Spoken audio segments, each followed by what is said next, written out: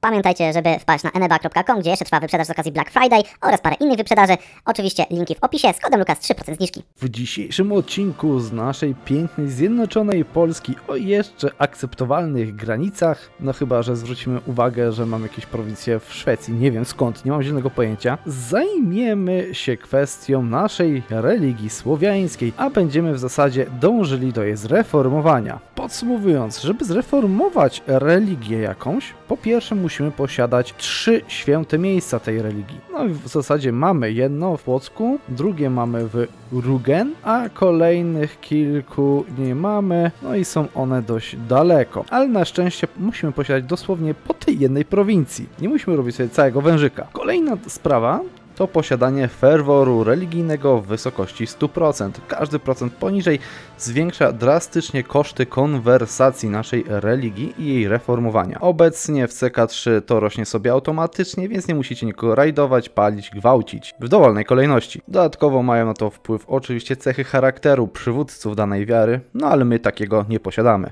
Albo przegrywamy wojny krzyżowe lub wygrywamy wojny o wiarę. Wiecie, logiczne. Podczas reformowania wiary możemy sobie tutaj dosłownie wszystkie te elementy powymieniać. Tylko oczywiście każdy element ileś tych punktów kosztuje, no ale są elementy droższe, są elementy tańsze. Ja na przykład planuję wprowadzić Human Sacrifice, tak, do, do naszej kochanej religii. O tym jeszcze za chwilę. W sumie to jeszcze sobie to wszystko oczywiście poprzeglądam, zanim zdecyduję, jak chcę wprowadzić. Myślę, że skończymy sobie dzisiejszy odcinek w momencie, jak będę miał wprowadzić tą religię, więc jeżeli mi coś chcecie zaproponować, to dzisiaj jest wasza ostatnia szansa. Ogólnie, e, oczywiście, moglibyśmy zmienić naszą religię po tym, jakbyśmy zjednoczyli właśnie West Slavs albo w ogóle Slavs, czyli Słowian, przed wprowadzeniem feudalizmu, gdzie właśnie zreformowanie e, wiary, żeby była zorganizowaną wiarą, jest konieczne. Ale tak się długo, długo na ten temat zastanawiałem, czy wcześniej chcę utworzyć imperium, czy może później.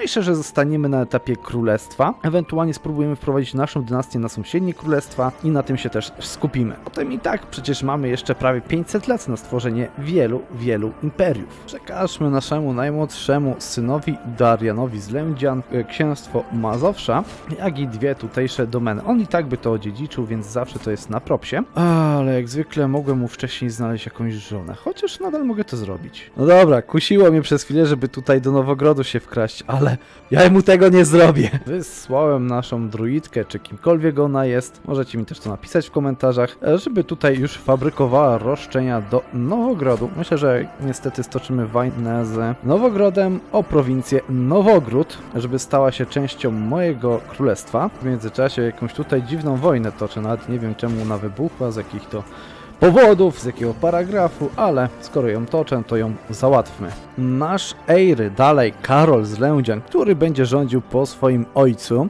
naszym pięknym królestwem, na szczęście no, został wyszkolony w sztuce no właśnie nauk wszelakich, co jest dobrą rzeczą, bo będziemy tego właśnie potrzebowali e, w ramach wprowadzenia religii i kultury słowiańskiej. Ale mnie teraz zbesztają w komentarzach w naszym regionie. Swoją drogą, jeżeli nie graliście przez jakiś ostatni czas w e, Crusader Kings, wyszedł patch 1.2, który wprowadził szereg zmian i widzę, że wprowadził sporo takich przyjemniejszych rzeczy, jak i poprawił jakieś tam eventy, które były wcześniej bardzo OP, typu łapanie ludzi, zmiana im kultury, więc jeżeli macie ochotę wrócić do gry, to myślę, że to jest dobry moment. Nie wiem, czy o tym wspominałem, ale pamiętajcie, że poziom e, prestiżu, który ma wasza postać, level of fame oraz ogólnie pula prestiżu wpływa na to, ile wojska dostajecie w postaci levis od waszych wasali w momencie, kiedy macie jeszcze system plemienny w waszym państwie oraz jak dużo wam też wasi wasalowie płacą. Nie wiem, czy o tym wspominałem, e, jeżeli nie, no to mówię teraz a Nowogród chyba upadł, albo został podzielony na dwa królestwa Białej Rusi oraz Nowogrodu. Mogę najechać całe księstwo Nowogrodu i przyłączyć je do siebie. Myślę, że lepszej okazji mieć nie będę, więc też to zróbmy. Sakra prawie 100 golda za sam desant mojego wojska, a jeszcze potem będę płacił za poruszanie się. To jest takie masakryczne. No ale wysyłamy do Nowogrodu prawie 12 tysięcy żołnierzy. Przybyliśmy na miejsce. Tutaj widzę jakieś armie po 2000 porozstawiane co jest dość dziwne. I to jest kolejna jakaś dziwna rzecz, która mi się właśnie dzieje na tym patchu 1.2, e, bo armię... O nie, mój przyjaciel umarł. Bo armię z automatu mi się dzielą właśnie tak po 2000 max, co stanowi obecnie tutaj supply limit. Oj, podzielmy w takim razie. Nie, nie, nie, mój syn nie może dowodzić. Pamiętajcie, nigdy dowódcą nie możecie być wy albo wasz syn. No chyba, że jesteście wikingami, ale nadal jest to bardzo zły pomysł. I no w sumie niekoniecznie. I dajcie mi znać w komentarzu, czy takie sprostowania i tłumaczenia dogrywane w trakcie montażu są dla was cokolwiek wartościowe i przyjemne do oglądania. Uczynienie dowódcą armii waszego władcy lub następcy oczywiście niesie ze sobą ryzyko, że te osoby po prostu zginą w ramach działań wojennych. Zwłaszcza podczas przegranej bitwy praktycznie zawsze odnoszę albo bardzo ciężkie rany takim dowódcom, albo on po prostu ginie. Natomiast w państwach plemiennych, kiedy wasz władca dowodzi e, waszą armią, to pula fame oraz devotion którą zdobywacie po bitwie, jest dodawana do waszej ogólnej puli kraju, co bardzo szybko podnosi wasz level of fame oraz level of devotion. A jak już wspominałem wcześniej, ma to bardzo duży wpływ na to, ile wojska dostajecie od swoich tutaj poddanych. Powiem wam, że ta tabela tutaj jest tak przydatna, bo informuje mnie wprost, że posiadam znowu wasali, którzy nie są przypisani do mojego księstwa. To jest tak OP tutaj ten current situation, gdzie macie wszystkie problemy waszego państwa. Oj, nie pamiętam, żeby tutaj wcześniej podczas robienia poematu na moją chwałę mógł wybrać, czy ma dostać prestiż, renomę rodu albo pobożność. Weźmy renomę rodu. Albo nie czytałem. I nie zwróciłem uwagi, że tutaj doszło do kolejnej bitwy, gdzie rozwaliliśmy wojska Nowogrodu. No i w tym momencie możemy dalej ruszać z zajmowaniem dalszych prowincji. O, jednocześnie wygranie tej bitwy podniosło mi poziom wiary? Ciekawe. Rzeczywiście, 200 punktów Devotion otrzymałem. Tak samo zdobycie każdej prowincji daje mi 200 punktów Devotion. Poem został napisany. Co dostałem? 5 punktów, ale prestiżu dostaję teraz na miesiąc. Ciekawe. Złapaliśmy tutaj Nowogrodzkiego. O nie, to jest szwedzki. Coś, kogoś złapałem, wojnę wygrałem, więc Ziemię dostałem. I tak, mamy trzy święte miejsca. I teraz dopiero zauważyłem, że każde święte miejsce daje mi jeszcze bonusy. Ja naprawdę muszę zacząć bardziej się przyglądać temu wszystkiemu, bo nie ukrywam, że posiadanie Kijowa byłoby super. Terytoria nowogrodzkie dałem wszystkie mojej najmłodszej córce. Chociaż nie ukrywam, że przed nią dość ciężkie tutaj czasy. No i ja teraz się wybrałem na kolejne tutaj łupienie okolicy i naprawdę coś zmieni w sposobie rekrutowania armii że startuje ona podzielona. No i niestety, mój władca jest umierający.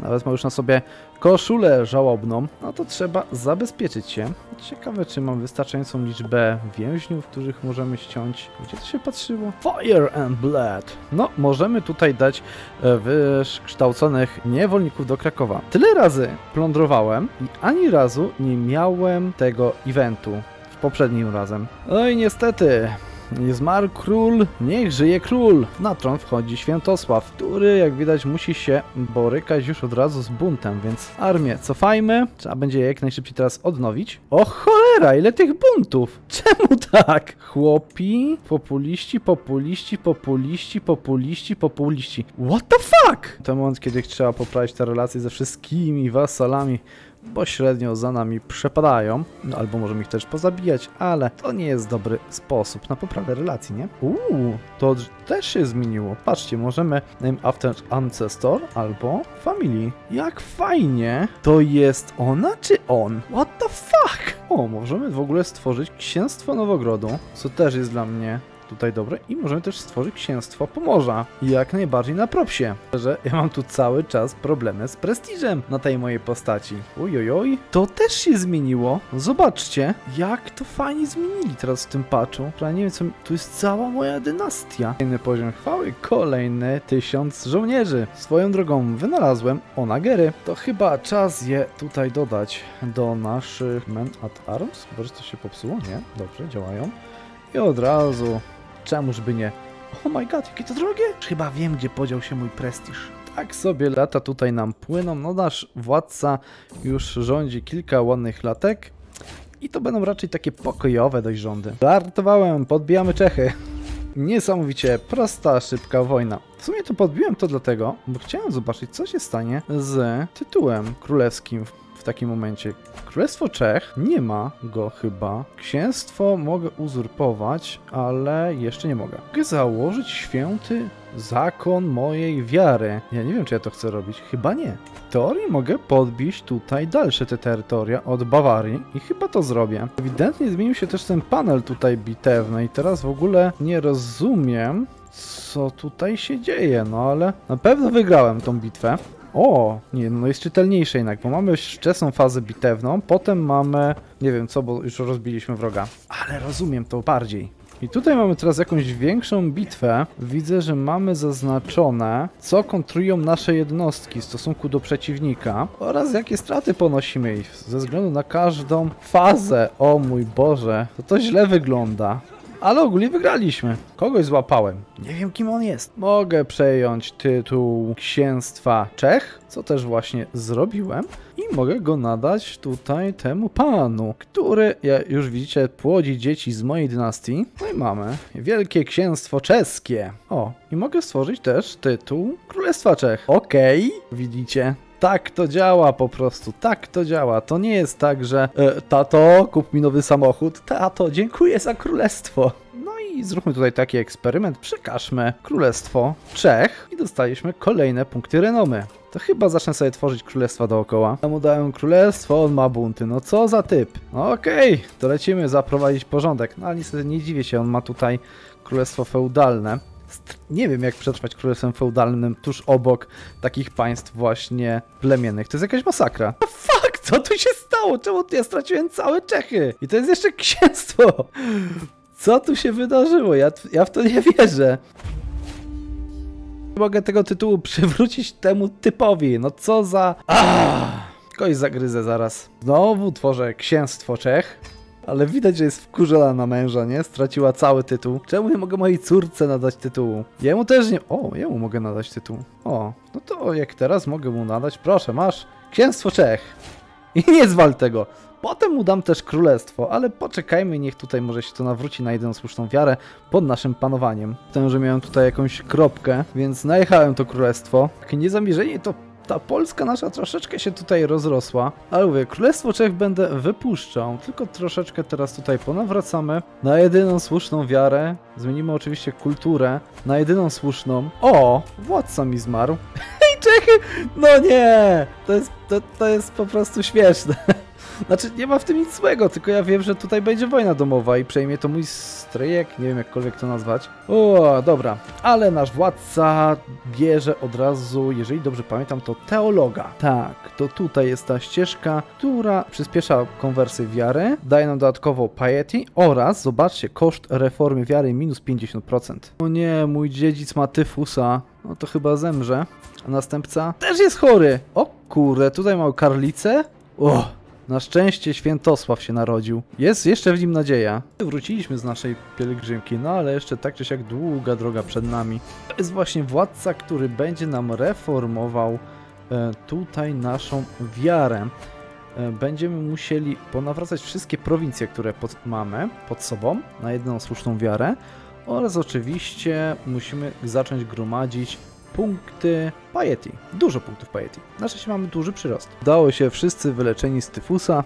E, jakby to wam powiedzieć, nie wiem kiedy minęło 25 lat, a tyle właśnie gdzieś mniej więcej minęło, bo mamy rok 999 i cały czas tutaj nasz władca polski, król Karol II, 36-letni, sobie rządzi i nabijamy tutaj punkty piety w całości. Dopiero 5 lat temu narodziły mi się dzieciaki i w zasadzie tak to się tutaj nam wiedzie. Królestwo Czech znowu przestało istnieć, jak i Królestwo Morawii. Ja nie mam do tego szczęścia, nie ogarniam jak to robić.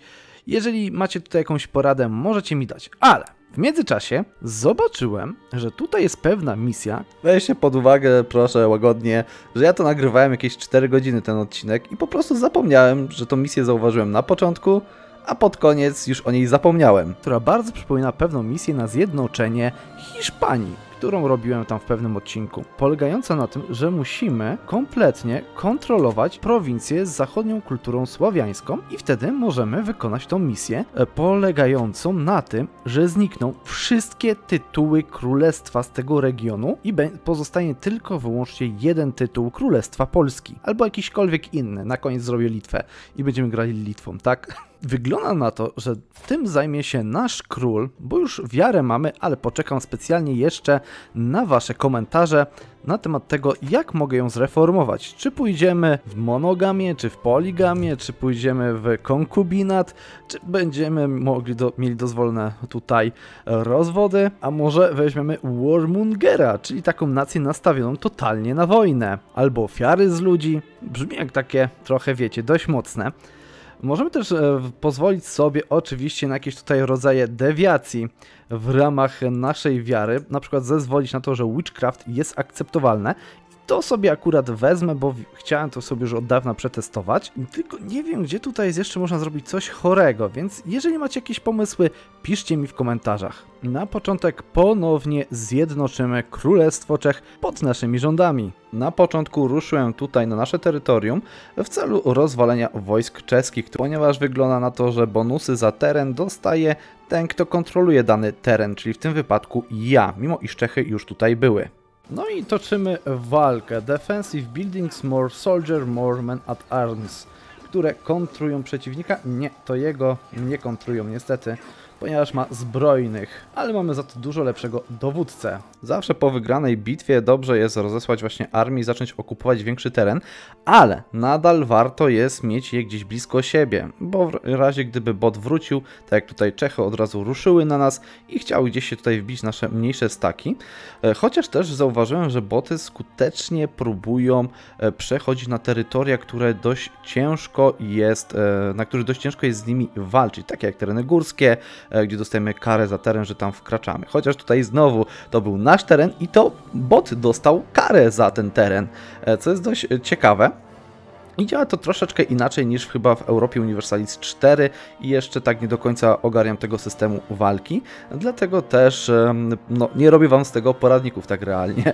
E, bardzo często bot leci na swoją stolicę, próbuje ją odbić, ale znowu teraz my ją kontrolujemy i my dostajemy tutaj bonus za teren.